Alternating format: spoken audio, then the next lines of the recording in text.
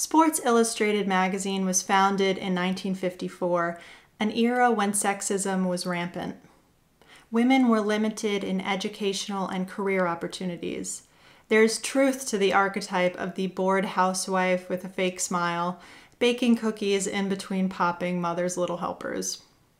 So, I'm not about to romanticize the 1950s as a great time for women.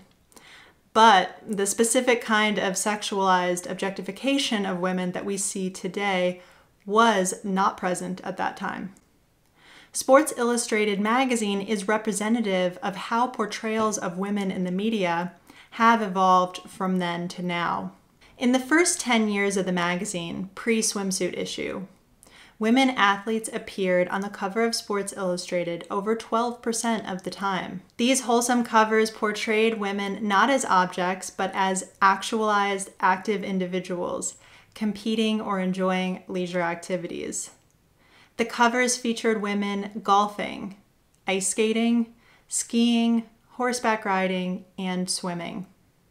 Although the women are good looking and made up, these covers don't feel overtly like they're for the male gaze. Instead, these women are role models, celebrated for their achievements rather than their appearances. In 1964, Sports Illustrated shifted its portrayal of women, and this corresponds to an overall societal shift in women's roles. The early 60s saw a genesis of the women's liberation movement, and along with it, women's sexual liberation. In 1961, the contraceptive pill was introduced, which on the surface seemed to allow women to improve their bodily autonomy. But like with all things, men saw women's newfound sexual freedom as something that they could exploit. And so at this time, the hypersexualization of women in the media took off because the men in power who controlled the media including print magazines like Sports Illustrated, saw that if they could condition women to see themselves as sex objects and then act accordingly, men would benefit. And now, without the added danger of having to take responsibility for a pregnancy. So, in 1964, we see a shift in the portrayal of women in Sports Illustrated from the wholesome faces of the past to imagery like this women in false eyelashes and the largest hair I've ever seen, completely impractical for running, of course, getting ready to sprint right into your bed. And of course, 1964 also saw the emergence of the now iconic swimsuit issue. The first swimsuit issue was a five page supplement that had this as its cover which is fairly wholesome by today's standards, but still designed with the sole purpose of appealing to the male gaze. We are looking at an object, a doll, not an action figure, a model, not an athlete. This trend continued, and from a female empowerment standpoint, the magazine went downhill.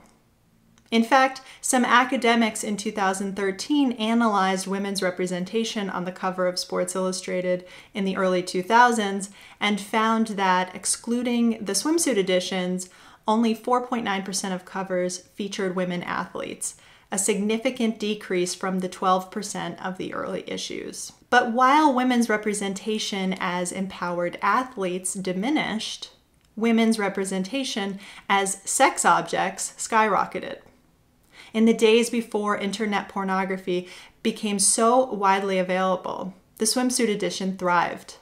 This issue typically sells about 10 to 15 times as many copies as a regular issue of the magazine, generating around $7 million in newsstand revenue and about $35 million in advertising. Selling women as sex objects is extremely popular and very lucrative. This year we have something new, and not so new. For the first time, a man is posing on the cover of the swimsuit edition. This is Leyla Bloom. And when I saw this story, my knee jerk reaction was good. Let men have this. Let men be objectified by other men. That job has fallen on women for too long. Let men be titillated by pictures of men. Leave women out of it. Take it. I don't see this as a loss for women like some woman lost her job to this guy or something. Because women have been subjected to this gross sexualization for too long. So good. Take the bikini pics, you can have them. Take the beauty pageants, take the Victoria's Secret catalog. You can have it all. We don't want it. That was my gut reaction. I am so disgusted by the continual pornified portrayals of women in the media that are so normalized and ubiquitous that we don't even think about it. We take it for granted that above all, a woman's role in our society is to look sexy. Even when she is doing something empowering, a woman's looks are commented on. We scrutinize a female politician's appearance alongside her politics, a female scientist looks alongside her discoveries, a female artist's sexiness alongside her artwork. Men are not subjected to these expectations and this pressure to anywhere near the same degree.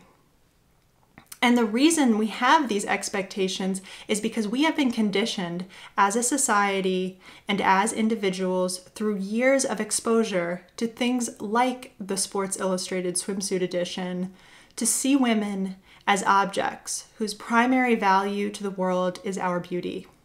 So, what really does it mean for women to have men now on both sides of the camera, both producing and consuming this softcore pornography? The gazer and the gazed upon. Is this a step towards women's liberation? Do we get to just wash our hands of this whole thing and say, yes, please take it? We don't want it. It's done us enough damage do we encourage more men to take these roles so that it becomes the norm to have your average Joe pick up a magazine and lust after your maybe not so average Timothy? Is this really better for women? The answer, of course, is no. Because a man posing on the cover of this magazine is still reinforcing the standards of stereotypical feminine beauty that all women are then subjected to.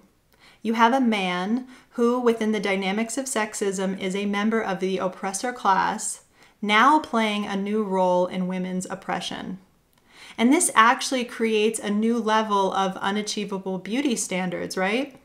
Until now, the imagery in popular media that the average woman has had to compare herself to has been of women who are professional models, with personal trainers and crazy diets, and yet still have plastic surgery, breast augmentation, liposuction, fat injections, lip injections.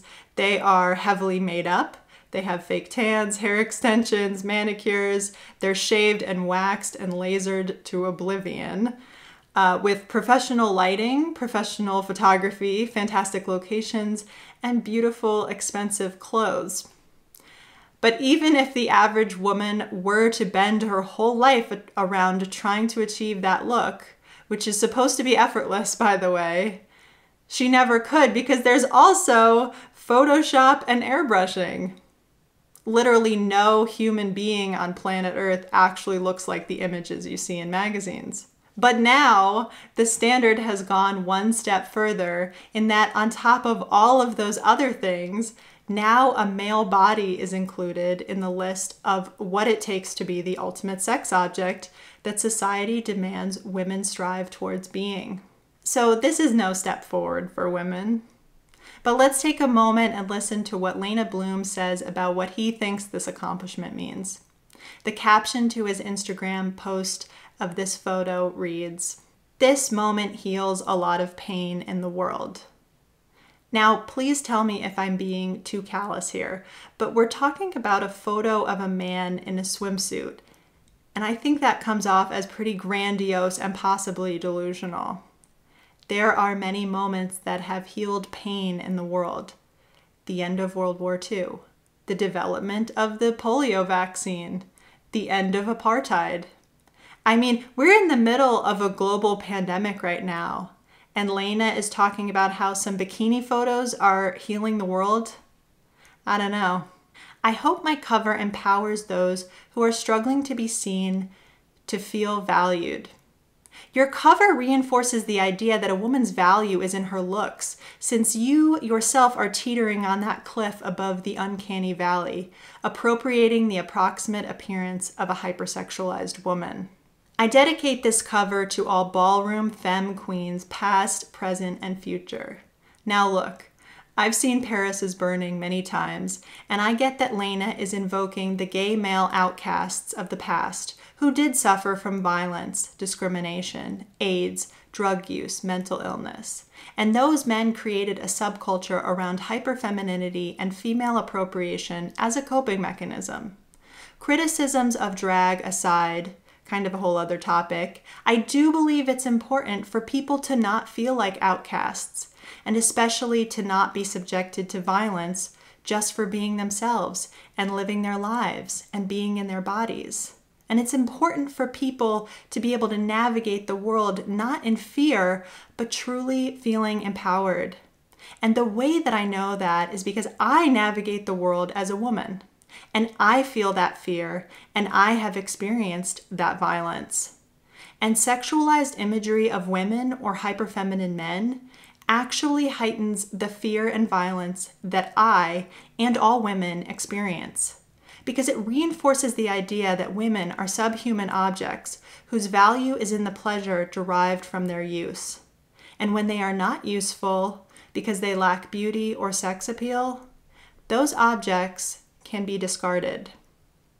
So instead of empowering anyone, including himself, Leyla has contributed to the disempowerment of all women, and for that matter, feminine men as well. Sexual objectification is a problem to which Leyla has directly contributed.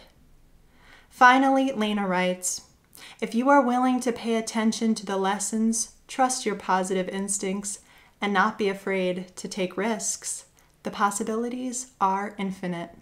Well, that I do agree with. I'll see you guys next time.